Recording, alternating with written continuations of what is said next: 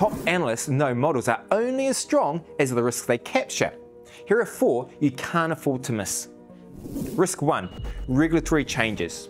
New rules on taxes, accounting standards or industry compliance can significantly alter forecasts but are often left out of assumptions. Risk 2. Supply chain disruptions. Delays, shortages or rising logistic costs can derail revenue and margin assumptions, especially in global businesses. Risk 3. Technology shifts. Outdated systems or sudden innovation by competitors can make existing assumptions about productivity or market share obsolete.